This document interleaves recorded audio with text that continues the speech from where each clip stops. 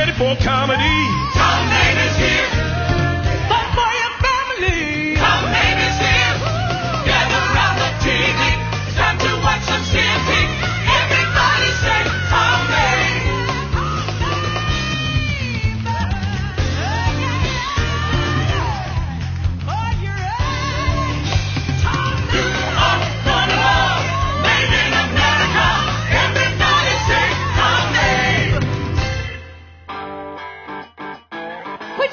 Together for Tom Mabe.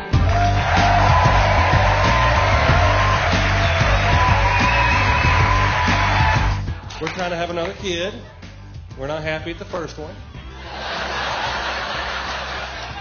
Nah, I love my kids. Kids are expensive though, man. I pay 200 bucks a week for daycare in Kentucky. 200 bucks a week. Look, you can't trust the daycare. It's a true story. One time I went to pick my kid up from daycare, they gave me the wrong kid. I got home, my wife was mad. I love my minivan. 183,000 miles on it.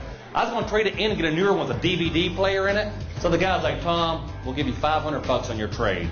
I'm like, heck with that. It's a minivan. That's worth more than 500 bucks. So I take the wheels off of it. And I put it in a trailer park. And I built a deck around it. It's worth 1100 now. I'll tell you what. Hey, just for kicks, tomorrow morning, go to the drive-thru at McDonald's. Go, Yeah, I was here last night, and I think I left my kids in the playland. Y'all see a couple kids running around this morning? Y'all come in. Why they look like, sir? Like their mama.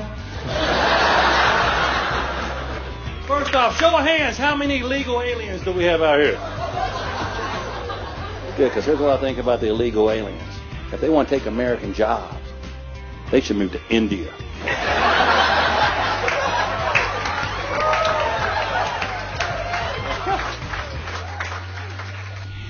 Louisville comedian Tom Mabe went to D.C. to the telemarketers convention, and he went undercover. He telephoned the telemarketers. He telephoned them in their hotel rooms, starting at 3 o'clock in the morning. I called this one telemarketer. I'm like, uh, yeah, this is Tom down the front desk. I started to bother you so late. Our computer crashed. Was your wake-up call for 8 or 8.30? That's correct, sir. It's 3 a.m. Calm down, buddy. Calm. Look, let me talk to the manager. He's right here. Hold on one second. Man, he's really upset. He says he can't get back to sleep, and he thinks we should make it right for him. I can do that? Sir, you there? Look, I talked to the manager. I told him your concerns about getting back to sleep, and well, we usually don't do this, but here you go. Rock-a-bye, baby. I'm laying back on my pillow. It's like 7 a.m., but I'm, I'm awake by all these alarms going off. Woo, woo, woo. And no lie, I get up and I look outside my hotel window. There's a video store across the street getting robbed.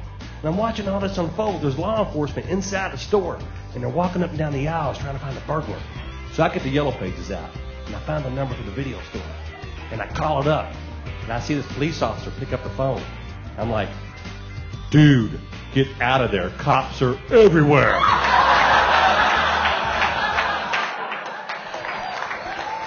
Hello?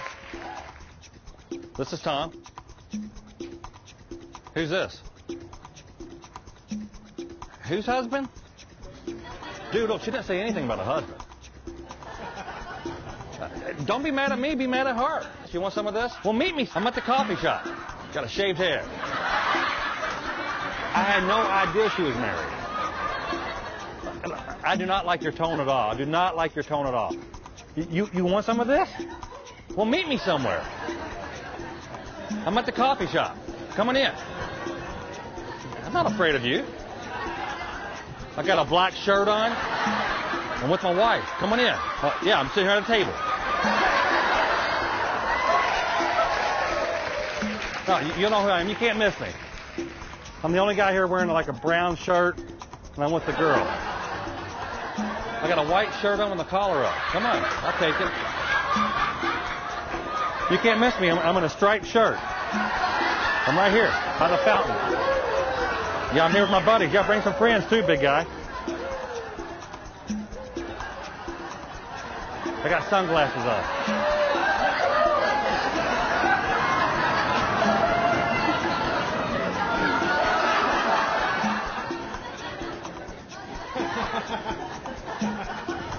I'll see you in a second, dude.